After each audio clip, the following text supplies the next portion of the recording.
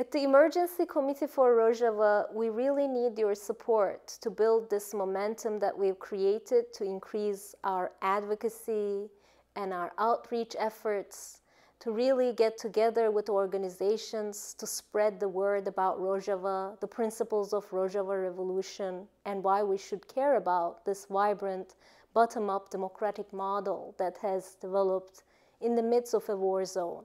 This region, unfortunately, is continually under attacks. Just the other day, the Turkish state has bombed a Yazidi village, and um, they are threatening to invade more on a daily basis. So we really need to increase our advocacy. It's important to understand the Kurdish history, not only one of oppression, though we need to recognize how much of a genocidal, um, oppressive uh, systems and regimes that they have survived against is in itself because it's an anti-colonial freedom movement. So that in itself is very valuable.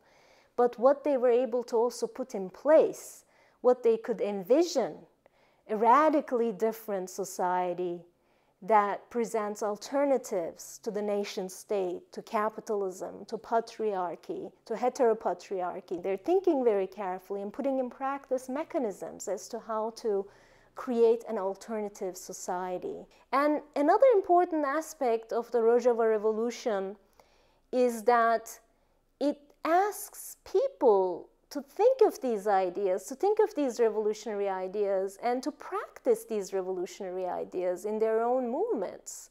So wants to create bridges, build bridges between the movements that are here, movements of the oppressed, anti-colonial, anti-racist, anti-capitalist, uh, movements. So building those bridges is one of the important functions of the Emergency Committee for Rojava. So we really need to increase our advocacy. And our volunteer uh, base is doing a great job, but we need a staff person who could really help us with this.